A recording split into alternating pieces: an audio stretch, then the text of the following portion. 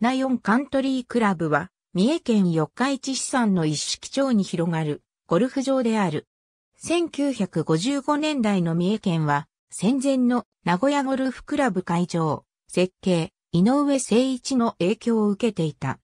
桑名カントリークラブ会場、設計、上田治は、地形も和合に似ており、四日市カンツリークラブは、コースレート的には、大衆のゴルフコースではない。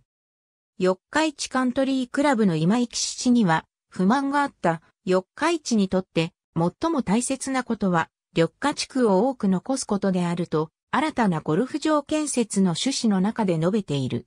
さらに、少しでも多くの人にゴルフをアーニーに安く利用を願う方針と、緑化促進と大衆化ゴルフという点で疑問があった。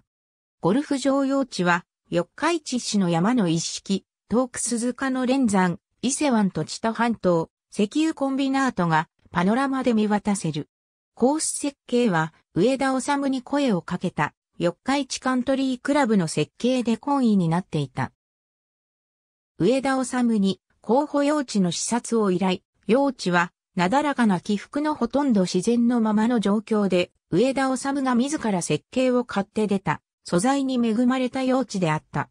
1965年3月31日、コースルート図が完成、いよいよ用地買収に着手した。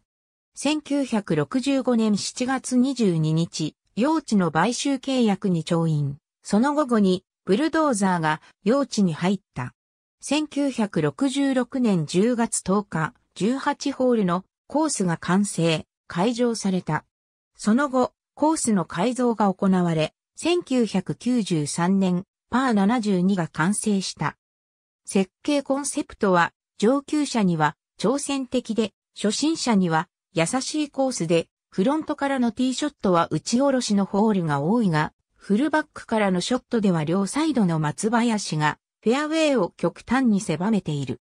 日本の女子プロゴルフメジャー大会の一つ、日本ゴルフ協会主催競技でもあり、日本選手権大会に相当する日本女子オープンゴルフ選手権競技大会を2回開催するなど多くの大会開催実績がある。郵便番号512-090630件、四日市市産の一式町1760番地鉄道道路。ありがとうございます。